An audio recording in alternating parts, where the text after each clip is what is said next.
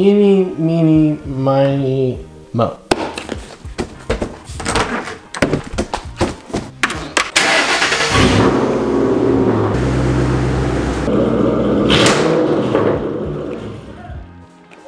Yeah, you want to be in it? Dude, come on, come on. So Hey, this, is the, this is the Amazon guy. He just brought the uh, the paint that I needed. So uh, shout out to him. What's your name? Francisco. Francisco? Kaidan. Nice to meet you, Kaidan. You too, man. Kaidan Odom. Subscribe that shit. Hell yeah. Thanks, brother. This has got to be the craziest college term I've ever experienced. Not only am I just super busy all the time when I want to be making these videos for you guys, but also the Mustang has been having problems and I need a haircut and I can't drive back to where my parents live to go and get a haircut. So I'm kind of stuck. I also need a jack to fix the Mustang and I don't have a jack yet. So I've been trying to figure out what order these videos need to come out in and I think I figured it out. So today, even though the Mustang is kind of bricked, I can't drive it very far, I actually am just doing an aesthetic mod. So probably the worst idea I could ever have, but this is much needed mod. I've been wanting one of these for forever. So today we're gonna be installing a new rear diffuser on the Mustang.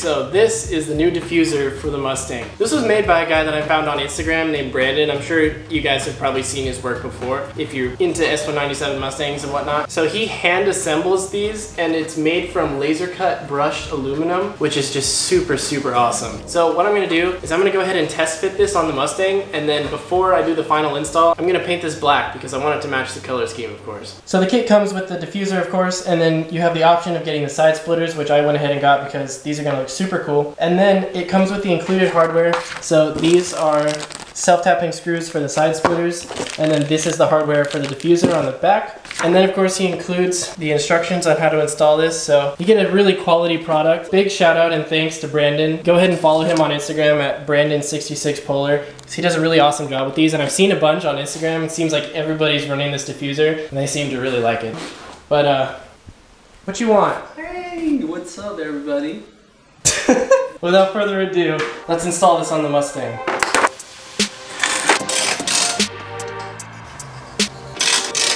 Alright, so I wanted to stop and take a second to explain the next step because it's not super straightforward, but it's pretty easy once you figure it out. So, there's two bolts that hold this onto the bottom of the car. So there's one right there, and then one right there. And also, I think it's worth mentioning, just in case, um, there is a little a little wire that comes down from here. I don't know if you can see that. Yeah, there it is. Be careful that that doesn't get pinched on the little guard between the diffuser and the guard for the gas tank because that almost happened to me and I had to loosen it and then move the wire. But as long as you move it out from under that little lip, you should be fine if you experience that. I don't know, maybe my car is just special. So when you get to this step, it's gonna be hanging and I was a little bit confused on what to do next, but I read through the instructions. So what you do is you have to bend this up slightly to where each edge touches the bumper. At that point, you need to mark on the bumper, or you can just do it straight through the hole. But I'm gonna leave a mark on the bumper, and then I'm gonna drill two holes. So there's one hole right here, and then there's one right there. So you need to mark on the underside of the bumper where that hole touches it, and then that's where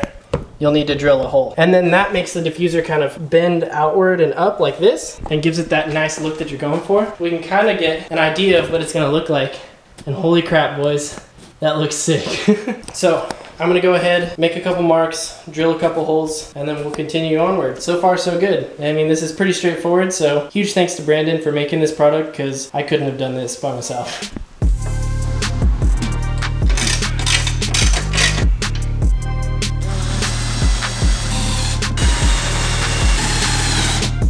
You guys know it's a full send when holes need to be drilled, but either way, the holes have been drilled in the bumper, so there's no going back now. But before I install it, shut up. But before I install it, I need to paint it. So we're gonna go ahead and pull the Mustang out and get to painting.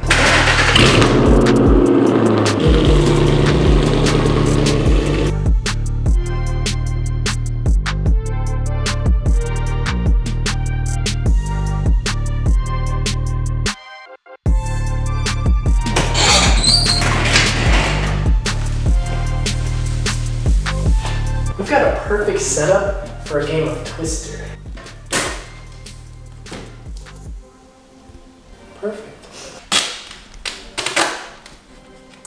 So as always, it's always good practice to make sure that you're painting in a ventilated area. So I have a fan that's blowing outward out the window, and unfortunately, I can't open the garage door because I have to park the Mustang out there, and I don't want to get overspray on the car. So this is the best I can do, but we have upgraded to a shower curtain instead of a cardboard box. I went over to my neighbors earlier and I asked them if they had anything I could use to keep paint from getting on the ground, and they were like, yo, we bought these shower curtains for like a dollar. So we have a new painting booth. Over time, this painting booth is gonna be the most amazing dollar store painting booth of all time. But for now, this is just gonna have to work. So I'm gonna go ahead and get the diffuser on there and start painting.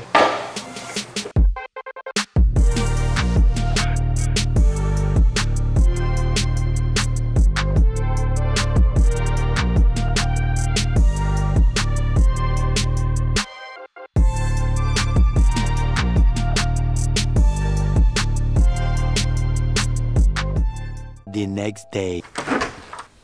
Okay, so last night I finished painting up the diffuser. I wasn't gonna record every single coat as usual because I just feel like it's monotonous and boring. The diffuser now has two coats of black and a clear coat over the top of it. As always, I always just say if you're spray painting something, just go really slow and just lightly coat it on there. You don't have to put it on very thick and it's better to just go and do multiple coats than to try to rush through it and get it on there and then have it drip because that is just the worst thing that you could have happen. I'm gonna go ahead and pull the Mustang back up and we're gonna throw this on there because the install is almost done now.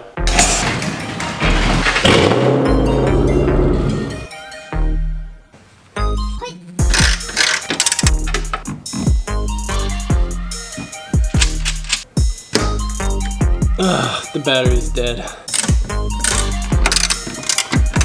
Oh, boys. This looks freaking awesome. One thing that I did on mine that I don't think many people will do is I actually tighten the bolts that are on the inside a little bit more than you're supposed to. So what happens is that there's like a threshold where you tighten it to a point and then it's perfectly level. And if you tighten them a little bit more, it starts to bow a little bit. And if you tighten it way too much, it'll bow down and it doesn't look good. But I tighten them just a little bit more so that way it has a slight bow, like ever so slightly. Because if you look at the bumper itself, this isn't just like a perfectly flat line. It kind of like comes out a little bit and then comes back in. And so I wanted the diffuser to kind of mimic that down there. And I think I got it just the right amount. Although there is one thing that if you don't want it to do this, then you probably shouldn't do that, is that when you tighten them slightly more, it doesn't sit perfectly flush with the little bottom of the bumper. Like if I was to loosen them a little bit, this would get closer.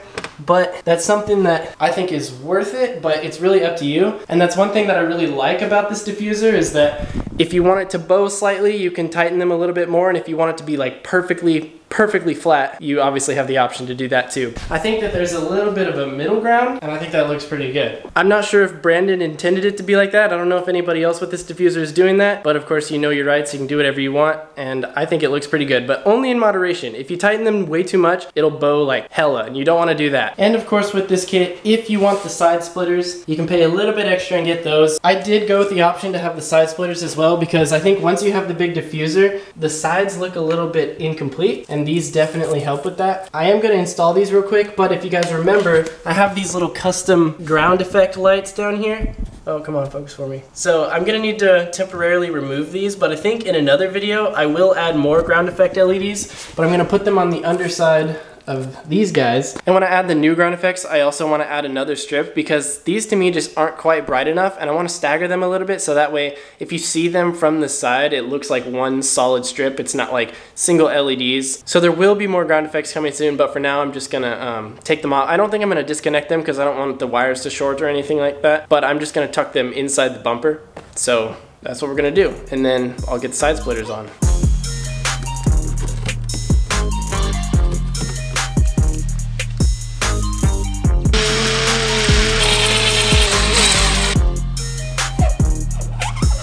I actually managed to get my ground effect stuck to the bottom of the side splitter. I'm not sure how long this will stay on here because this adhesive has been removed, but I mean, they're gonna get replaced eventually anyway, so it works for now.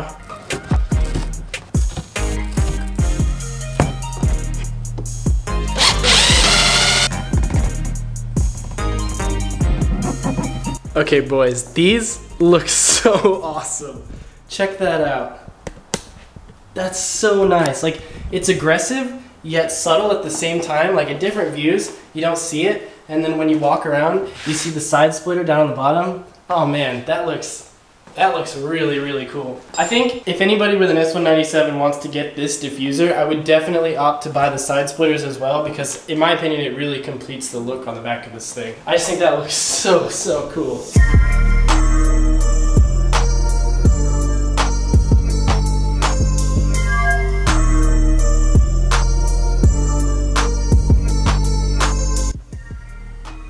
So it's been about a week since I recorded the diffuser install and I wanted this video to come out a couple days ago, but I kind of had to replan things because some unexpected things happened at the end of this week, but I'm excited because I got to make another video. So as soon as I finish editing and uploading this one, I'm probably going to start on the next one unless I fall asleep.